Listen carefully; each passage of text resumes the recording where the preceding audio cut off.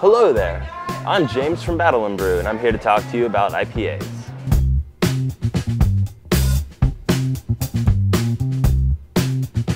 So normally when one thinks of an IPA, they typically think of something that's incredibly hoppy, very bitter, um, but there's actually a lot more in depth to what IPAs actually are. Um, usually, depending on what hop variety they throw in there, it's um, you can either get some citrusy, you get a lot of, you can get be floral, uh, you can be a lot more just hop forward. Um, and depending on which style of IPA it is, can really showcase specific hop varietals. What is this? The term IPA is actually uh, Indian Pale Ale.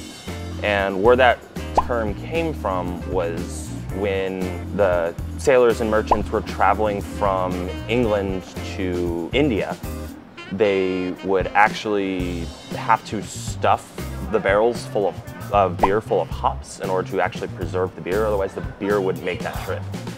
So the beer started getting a lot more, you started show, showcasing a lot of that more of that bitterness of the hop flavor.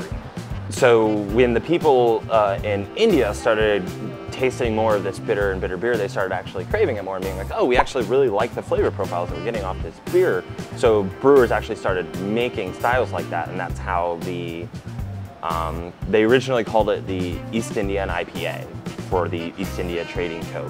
Company and the British Navy, because that's those are the people who are primarily consuming it. So for the last couple of decades, um, Americans actually have fallen in love with IPAs, and it's just become such a huge craze that everyone and everyone pretty much makes an IPA nowadays.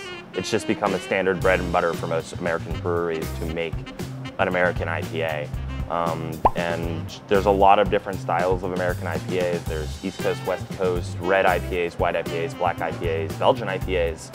Um, there's just so much different, uh, different types and styles of IPAs that will really can really change how people can perceive an IPA, just because of how different they can be. Some, some are going to be much more floral forward, some are going to be a little bit more like showcasing a single varietal hop. Some uses experimental hops and showcases those, and play, brewers have been playing around with a lot of experimental hop varieties. Here at Battle and Brew, we have a large variety of IPAs. We try to keep as many local beers on as we can in to support our local, our local brewers because they're a bunch of rad dudes and we love them.